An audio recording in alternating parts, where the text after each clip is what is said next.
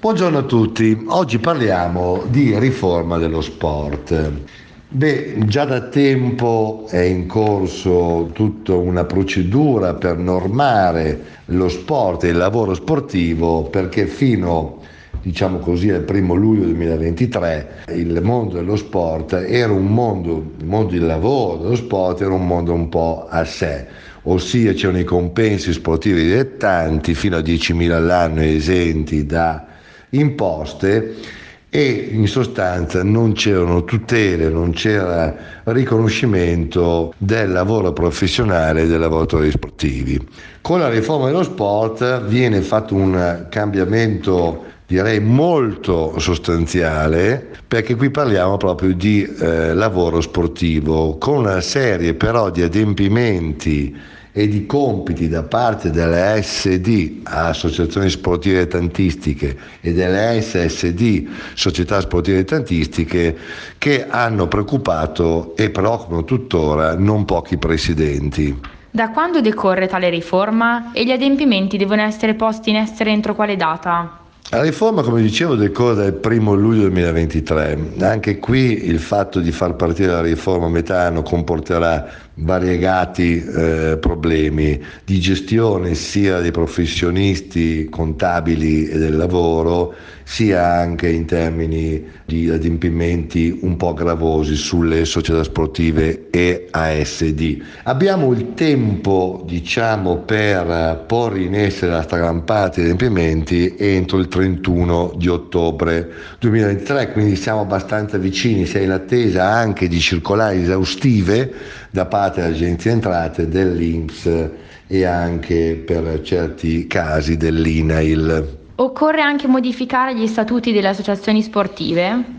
Sicuramente sì, occorre adeguare tutti gli statuti entro il 31-12-2023 in esenzione di imposte di registro per fortuna, cioè non occorre pagare le classiche 200 euro per registrare l'atto e attenzione che questo adeguamento statuto va posto in essere convocando precedentemente l'assemblea straordinaria, non ordinaria e quindi poi registrare il nuovo statuto adeguato alla normativa vigente entro il 31-12-2023. Quando si tratta di Coca-Cola sportivo, cosa si intende? Beh, qui ci sarebbe da discutere veramente tanto. Eh, in sostanza, l'ultimo decreto, il decreto 120, decreto legislativo del 29 agosto 2023, diciamo il secondo cre- eh, di, decreto correttivo, ha eh, innalzato fortunatamente le ore di lavoro da 18 settimanali a 24 settimanali.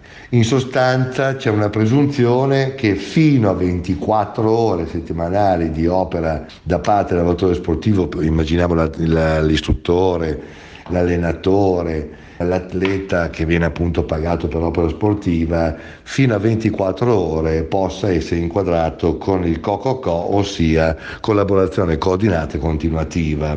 Poi c'è tutta la questione però degli adempimenti relativi a questa figura e anche adempimenti relativi al volontario sportivo, ma ne parleremo in trasmissioni successive. Si parla anche di certificato penale per i lavoratori sportivi. Di cosa si tratta? È una delle mille novità di questa mh, mm, riforma. Diciamo che in realtà eh, il certificato penale c'era già, ma siccome prima non era considerato o comunque non era inquadrato nella tipologia dei lavori fino al 1 luglio 2023 perché era un compenso sportivo dilettante, ora passando alla, eh, diciamo, alle tipologie di lavoro sportivo che può essere non solo il Coco, può essere anche con partita IVA, quindi ci sono anche altre tipologie di contratto, ma comunque di lavoro sono. E quindi è necessario, ecco, essendo la, la SD, quindi la SSD,